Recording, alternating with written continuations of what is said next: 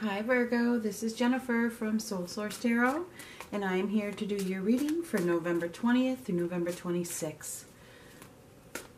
This is intended to be a weekly love reading. This is not a private reading. This is for hundreds and thousands of people on a general level. So if it doesn't resonate with you, then it wasn't meant for you. And there, they are. I had pre-shuffled this deck, so I was only going to shuffle it for a moment anyway.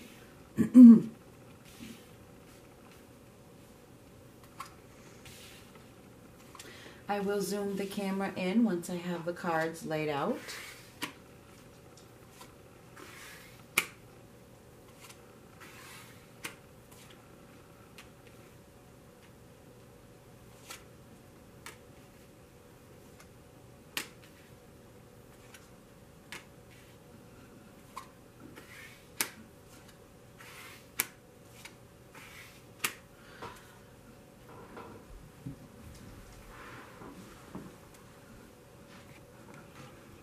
Looks pretty good. All right, the basis of your reading is the Seven of Swords. Okay, so that tells me there's some deceit or a feeling of deceit this week. Either there's some actual deceit or there's a feeling of deceit. Um, and it feels like you may be even moving away from it, okay, because we have the Eight of Cups right next to it. So somebody who's watching this may be leaving it behind. They may be you know, heading towards their own happiness, just leaving it behind. The decision may come abruptly. I mean, it may be have, have been in the works for a while, but for some of you, the decision may come abruptly where you're just like, you know what, I'm, I'm leaving. I'm walking away from this right now. So that could happen for somebody. I feel like you are heading towards love. All right, so congratulations. We do have a strong um, emotional connection here. You're receiving love from one direction or you are offering love. It feels like you're following your own path. You're just believing in yourself more and more every day. You're releasing a, something that was very, very heavy, weighing you down, something that wasn't serving your purpose, I, I bringing you conflicts, okay, conflicting thoughts. I think that you are have released that, and it's bringing you um, more hope, and it's bringing you more love.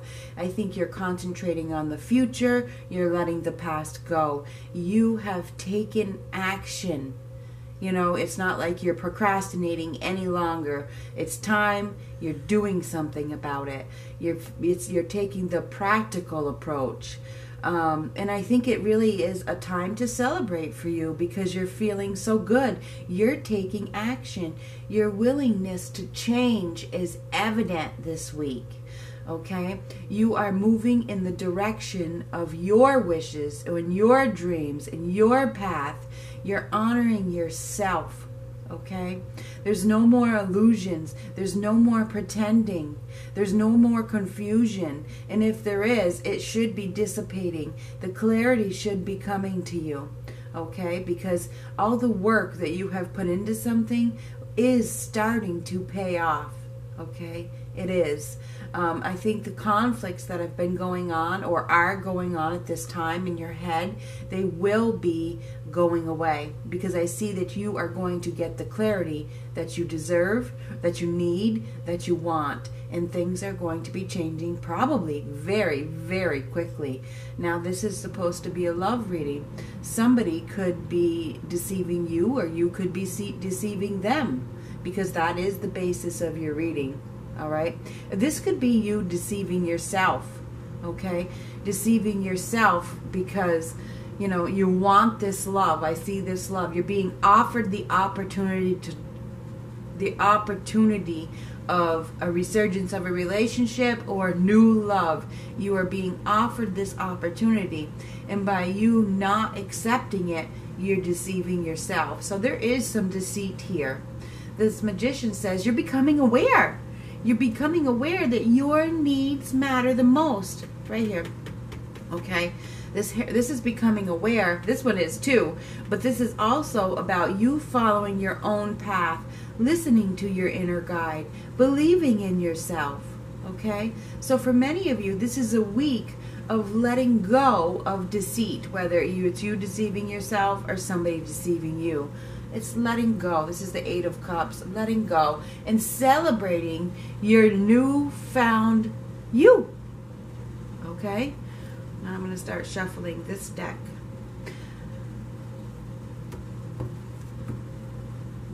Remember not to lose faith, okay? I see some of you may have lost a little bit of faith along the way, and perhaps it's being restored. Don't lose faith in yourself, okay? Remember to keep it going at all times. Have faith in your journey, have faith in yourself, have faith in your beliefs. Don't doubt yourself, love yourself. Do what you need to do for you, okay? There could be some legal matters at play. I'm not sure how that fits in with somebody, but I'm sure that it does. All right. And uh, in the end, just be honest. Honesty prevails, okay? And remember that your future matters. So I think that many of you have taken action in regards to your future. You're realizing that it's your future at stake here, okay?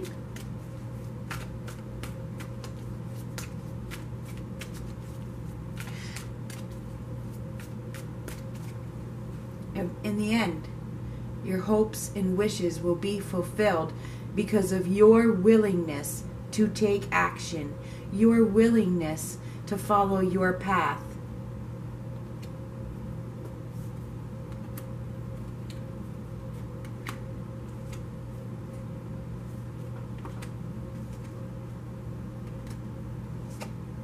There's that deceit again. Same card, different deck. So there's definitely some deceit here. Now, deceit can be in many forms, okay? It can be cheating, can be lies, can be trickery, can be sneakiness. You know, it, whatever it is, it's not good. It's not good. Somebody is trying to get away with something, okay? And you cannot ignore it. You may have been ignoring it. And so for many of you, you've been deceiving yourselves, okay? Many of you have, not everybody. For some of you, well, you have been deceived okay? Or, or you know for some of you maybe you've deceived somebody else i don't know. You know but deceit is here in a very big way and you cannot ignore it. This card this two of swords says you cannot ignore it. You need to listen to your inner guide and follow your path. Believe in your beliefs take control seriously you need to take control. With the chariot and the emperor, you take control of this situation, whatever it is.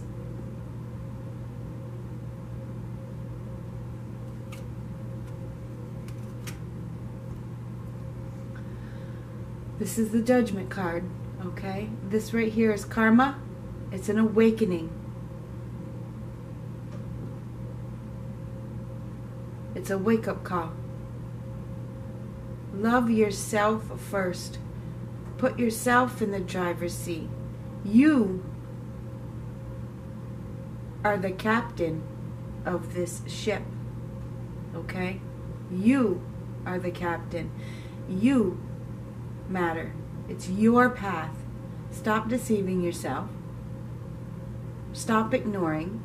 Stop procrastinating. Accept the truth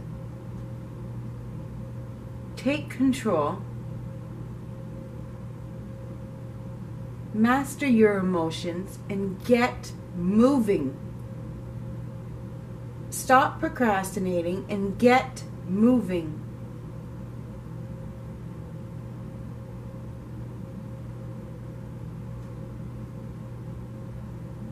If you have any doubt, if you have any doubt about your direction, listen to your inner guide because your inner guide is giving you the answers that you seek. Okay? This card can also signify somebody from the other side. Somebody from the other side could be on your they could be trying to help you. They could be trying to give you a message. They could be trying to push you along.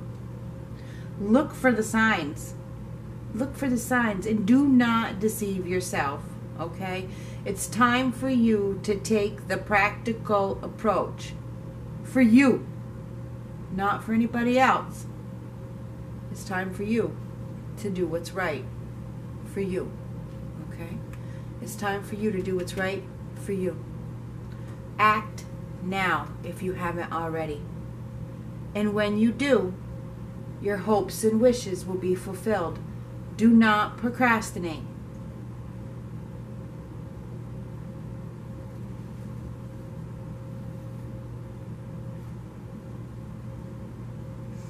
Believe in yourself. Believe in yourself.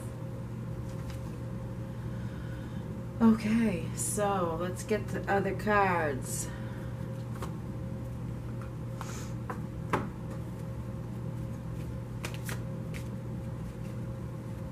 We're going to get one of the angel romance cards and we're going to get one of the angel guidance cards. Oh, and look at that. We got two. Huh. How should we handle this? Should we take them both? Should we take them both? Son of a gun. Why does that got to happen? I've only wanted to do one. Alright. I can't say no when they fall out. I can't because it's not right. So we're going to get one of these, hopefully, because that was the goal.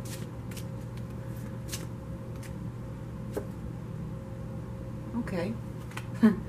Remember I was saying follow your own path? Believe in yourself. I just got done saying believe in yourself. Believe in your heart. Okay? Whatever your heart says. Oh boy.